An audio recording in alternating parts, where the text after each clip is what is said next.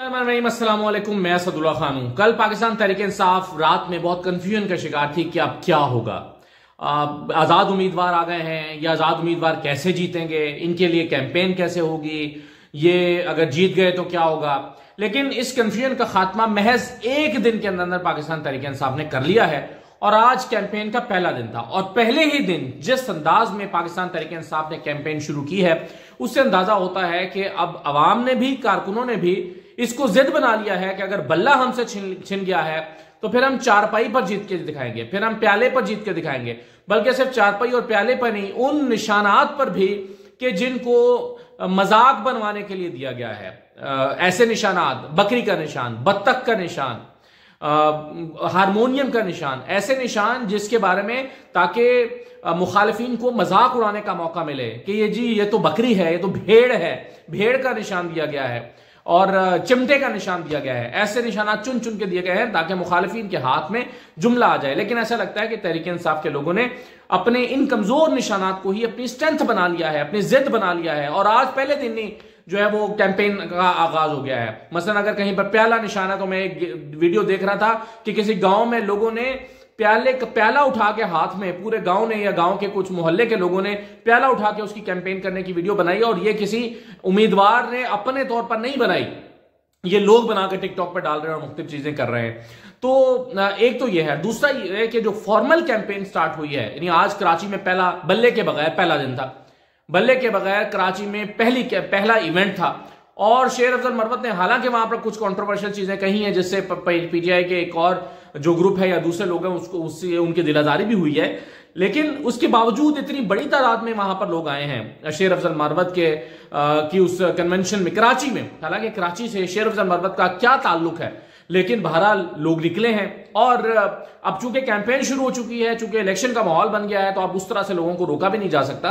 लोग निकले हैं जलसा गाह में पहुँचे हैं कन्वेंशन हुआ है। और बहुत ही मेरा ख्याल है कि मनाजिर, मुतासर कन मनाजिर हैं जो हमने कराची की कैंपेन में देखे हैं? लेकिन साथ ही साथ अफसोस की बात यह है कि वो पीपल्स पार्टी जो लेवल प्लेइंग फ़ील्ड मांग रही है, सिर्फ़ अपने लिए नहीं, बल्कि वो पीटीआई के लिए भी लेवल प्लेइंग फ़ील्ड मांग रही है। उनके शहर में रास्ते रोके गए हैं और बिलावल ने और पीपल्स पार्टी ने उस पर कोई एतराज़ नहीं किया।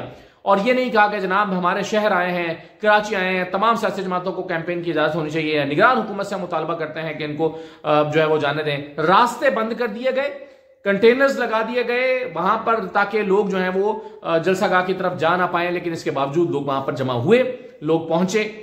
बिलावल साहब क्या कह रहे हैं? बिलावल अपनी कैंपेन में कह रहे हैं कि बल, के बल्ला नहीं रहा। अब आज़ाद उम्मीदवारों को वोट देकर अपना वोट जाया ना करें। मुझे पूरे पाकिस्तान में वोट दें। और बड़ी दिलचस्प बात आज बिलावल ने की। बिलावल ने कहा कि ये जो तहरीक इंसाफ है, ये तकसीम करने की पार्टी है। ये लोगों को, कौम को तकसीम करती है। और साथ ही साथ उन्होंने ये कहा कि मेरे नाना ने कौम को जोड़ा था और ये तकसीम करते हैं। मेरे नाना ने मुझे सिखाया है। उन्होंने बल्कि कहा कि मेरे नाना ने हमें सिखाया है कि कौम को जोड़ना है और ये तकसीम की बात करते हैं। हालाँकि इनके नाना के बारे में वो हेडलाइन जो अतर अब्बास साहब ने लगाई थी, उधर तुम, इधर हम, ये हेडलाइन इन्हीं के बारे में लगी थी जब इन्होंने तकरीर की थी और कहा था जो जो बांग्लादेश गया, मैं उसकी जो जो मशीकी पाकिस्तान गया, मैं उसकी टांगे तोड़ दूँगा।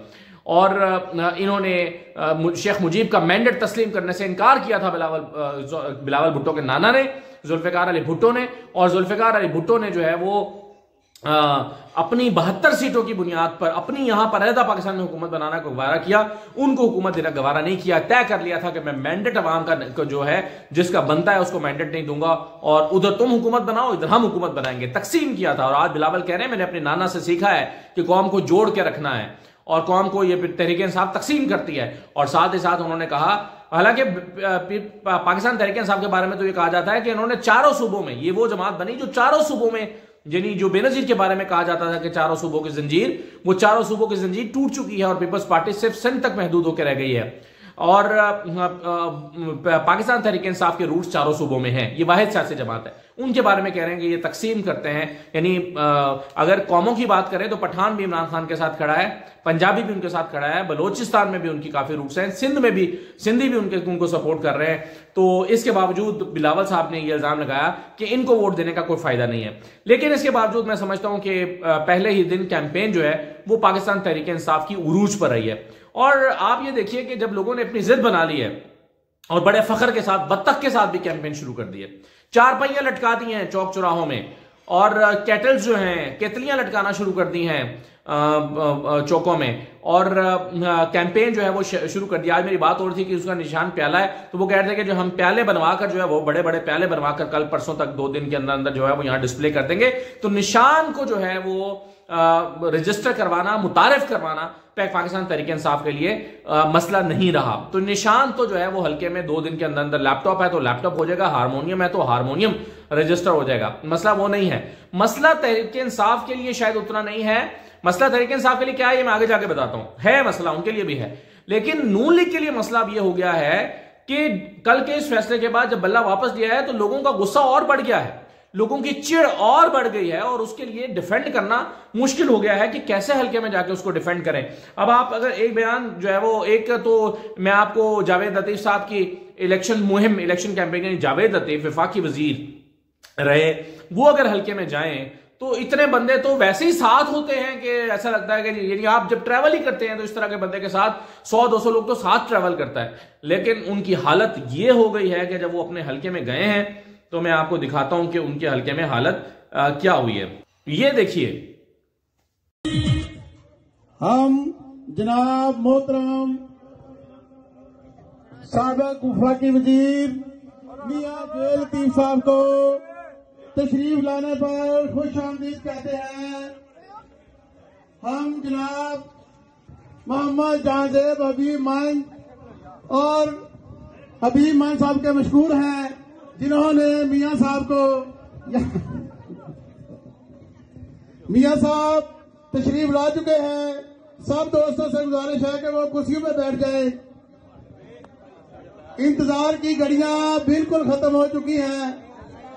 मियाँ साहब इस तरह की गली के बारे में मुश्ताक यूसफी साहब ने लिखा था कि इस गली में से अगर एक तरफ़ से एक मर्द आ रहा हो तो दूसरी तरफ़ से औरत आ रही हो तो बीच में बस निकाह की गुंजाइश बाकी रह जाती है। इतनी तंग गली में ये जलसा इन्होंने किया है और उसमें भी हालत देख लें कि गली के लोग भी नहीं आए हुए। तो अब ये क्यों हो रहा है? इसको एनालाइज करने की ज़रूरत है। इसलिए कि जितना आप आपको फितरत का उसूल है कि जितना आप किसी को दबाएँगे, लोग चिढ़ कर फिर उसके साथ जो है वो खड़े होते हैं। अब कल देखें, लोगों की हमदर्दियाँ हुई हैं पाकिस्तान तरीके इंसाफ की उनकी भी उनकी भी हमदर्दियाँ हुई हैं जो शायद उतना पाकिस्तान तरीके साहब को पहले सपोर्ट ना कर रहे हो। लेकिन उनकी हमदर्दी हो गई कि भाई सब मिलकर गिराने में लगे हैं, सब मिलकर तोड़ने में लगे हैं। तो अब लोग जो है वो रिएक्शन में निकल रहे हैं कैंपेन कर रहे हैं। और अब ऐसा लगता है कि सिर्फ़ एक ही मतम नज़र है, एक ही नुकता नज़र है पीजीआई के कारकुनों का और आवाम का कि भाई सबसे पहले जिनको तरीके साहब ने खड़ा किया है, उनकी जो है वो वो अपनी असेंबली के अंदर सीट्स ग्रैप करें। वो सीट्स ग्रैप करें और वो जीत के आए, उसके बाद बाद की बाद में देखी जाएगी। कल रात तक बहुत कंफ्यूजन थी कि क्या होगा। लेकिन अब लोग कह रहे हैं कि भाई पहले जीतो और बाद में देखो क्या होगी। अब देखें, ये जो बल्ले का निशान जाने से क्या नून लीग की मकबूलियत में इजाफा हो जाएगा? एक कॉमन सेंस की बात है ना, सोचने की बात है। क्या नून लीग की मकबूलियत इसलिए बढ़ जाएगी कि जी बल्ला चला गया? तो चलो जी, नून लीग की मकबूलियत बढ़ जाएगी। तो नून लीग की मकबूलियत नहीं बढ़ने लगी, बल्ले बल्ले के जाने से नून लीग की मकबूलियत का बढ़ने का कोई ताल्लुक नहीं है। उनकी मकबूलियत अपने पैरामीटर्स में बढ़नी है, कम होनी है।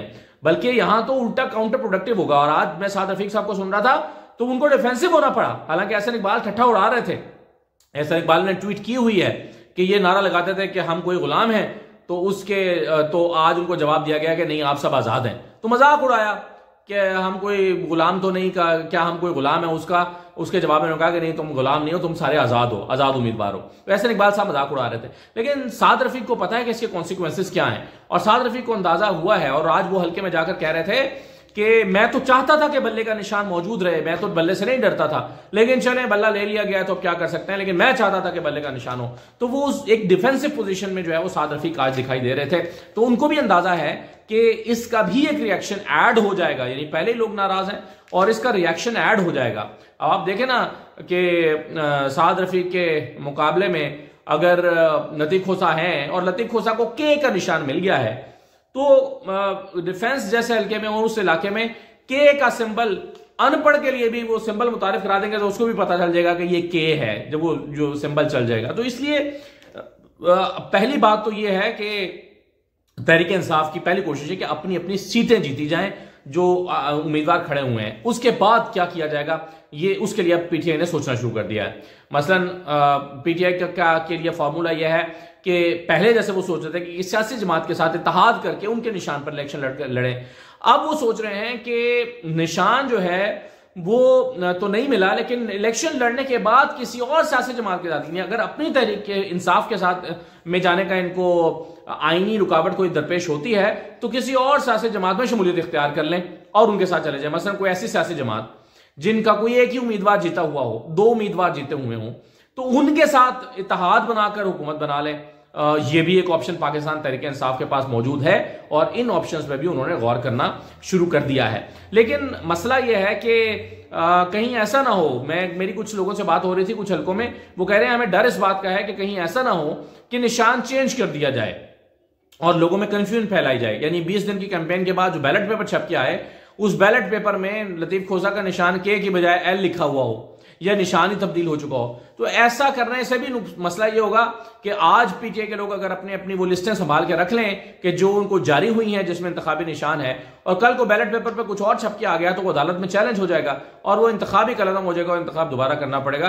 तो इसलिए कि इस तरह के हथकंडे भी चलेंगे नहीं, लेकिन डर लोगों को यह है कि ऐसा ना हो कि इंतबी निशान चेंज कर दिया जाए। मसलन शेब शाहीन के बारे में अभी तक कंफ्यूजन है कि कल उनको फाख्ता का निशान अलॉट हुआ। आर पर खबरें चलती रहीं कि उनका निशान जूता है। मुझे कहीं से फ़ोन आया, उन्होंने कहा कि जी, ये आपका चैनल गलत खबर चला रहा है कि आपके जी जूता निशान है, उनका निशान तो फाख्ता है। तो मैंने उनसे कहा कि भाई, मैं उस चैनल में नहीं हूँ। आप जो है वो, मैं तो चैनल छोड़ चुका हूँ। लेकिन कहने का मतलब यह है कि और भी चैनल्स पे, सिर्फ़ एक पे नहीं, और भी चैनल्स पे जूता निशान चल रहा था, लेकिन उनकी कैंपेन में फाख्ता नज़र आ रहा है। तो ये कन्फ्यूज़न फैलाई जा रही है या कंफ्यूजन मौजूद है। एक अलग तरह की वारदात जो है वो और भी हुई है। और वो अलग जो है, वो अलग तरह की वारदात हुई है गुजरात में। मतलब गुजरात में मेरे कुछ सहाफियों से बात हो रही थी। वो कह रहे हैं कि वहाँ पर यह हुआ है कि जो पीटीए के उम्मीदवार हैं, उन, वो जब अपना निशान लेने के लिए गए हैं, या कल टिकट देने के लिए गए और आज निशान लेने के लिए गए तो उनसे कहा गया कि आप कौन है? आपका तो आपके कागजात तो वापस लिए जा चुके हैं। तो उन्होंने कहा भाई मेरे कागजात कौन वापस ले गया मैं तो मैंने तो कागजात वापस लिए ही नहीं है. तो उन्होंने कहा नहीं जनाब आपके कागजात वापस हो गए ये देखें दस्तखत आपके मौजूद है। या फलां साहब के दस्तखत मौजूद है। तो निशाना तो निशा, आपका कागज़ तो वापस लिए जा चुके हैं। अब सूरत हाल इस वक्त यह है कि चौधरी लियास 62 में आबिद रजा के मुकाबले में चौधरी लियास उनका बेटा कमरे कैंडिडेट है। दोनों का कागजात गायब है। और दोनों के कागजात नहीं मिल रहे ये ये वहाँ के सहाफियों, मकामी सहाफियों के मुताबिक। फिर पीपी ट्वेंटी सेवन में नुमान अशरफ है पीपी ट्वेंटी एट में शायद रजा कोटला है। इनके कागजात भी इन, इनके बकौल नहीं मिल रहे और वो कह रहे हैं कि जी, आपको कागजात वापस ले रहे हैं। कल मुदसर मछियाना के साथ भी हुआ पीपी थर्टी वन में, जो कि कैसरा इलाई के नीचे या जो सालिक वाला हल्का है, उसके नीचे एमपीए का इलेक्शन लड़ रहे हैं। वहाँ पर उनके साथ भी हुआ, वो कल गए टिकट जमा कराने तो उन्होंने कहा जी, मेरा तो आपके तो कागजात ही नहीं है आपको कागज़ वापस ले चुके हैं। वो हैरान थे कि मेरे कागज़ कौन वापस ले गया फिर कैसरा इलाही जो है, वो और उस हल्के के बाकी लोग जो हैं वो जब गए इलेक्शन कमीशन के पास लिस्टें जारी करने के लिए तो उनको लिस्टें जारी नहीं की जा रही इंतबी निशानात की। तो ये सब कुछ भी हो रहा है। यानी रुकावटें तरीके इंसाफ के लिए भी खत्म नहीं हुई। रुकावटें चल रही हैं, लेकिन जिस तरह से अभी तक की सारी रुकावटों को उबूर करते हुए तरीके इंसाफ आगे बढ़ रही है बॉयकॉट नहीं किया, हथियार नहीं डाले, और आगे बढ़ने का फैसला किया है तो इससे लगता यह है कि शायद आने वाले दिनों में भी इन प्रॉब्लम्स का वो कोई ना कोई हल निकाल लें। और उम्मीद है कि अगर कोई रुकावट आएगी भी तो बहरहाल कुछ अदालतें हैं जो अभी भी इंसाफ का दरवाज़ा खोल के बैठी हुई हैं, लेकिन सारी अदालतें ऐसा नहीं कर रही। अब मसलन आज मैं एक जगह पे, मैंने एक नज्म का एक टुकड़ा मेरी नज़र से गुजरा तो मैंने सोचा वो आपके साथ शेयर किया जाए अदालत के हवाले से। कहा उसमें कहा है कि अब भी अब भी इंसाफ के सीने में साजिश की गोली लगती है, अब भी इंसाफ के सीने में साजिश की गोली लगती है, कानून यहाँ पे बिकता है, काजी की बोली लगती है। कानून यहाँ पर बिकता है, काजी की बोली लगती है, फिर धुंधले मंजर हटते हैं, फिर शक्ल दिखाई देती है, हाथों में पड़ी सरमाए की जंजीर दिखाई देती है। हाँ, मुनसिफ इतना याद रहे। हाँ मुनसिफ इतना याद रहे, एक रोज कयामत बाकी है, ये तेरी अदालत खत्म हुई, मौला की अदालत बाकी है। तो इस तरह की चीज़ें भी जो हैं, वो चल रही हैं। तो देखिए, अल्लाह ताला पाकिस्तान का हामी नासिर हो। अल्लाह ताला पाकिस्तान के लिए अच्छा करे। अल्लाह करे कि पाकिस्तान में जो भी निज़ाम आने वाला है, जो भी सिस्टम बनने वाला है, वो पाकिस्तान के लिए फ़ायदेमंद साबित हो। और पाकिस्तान की मुश्किल जो हैं, वो ख़त्म हों, लेकिन लगता नहीं है कि आठ, दस, बारह, चौदह जमातों की हुकूमत पाकिस्तान की मुश्किल हल कर पाती है। न कर पाई है अभी, और खतरा यह है, खदशा यह है कि शायद अब भी नहीं कर पाएगी। इजाज़त दीजिए। अल्लाह हाफिज़।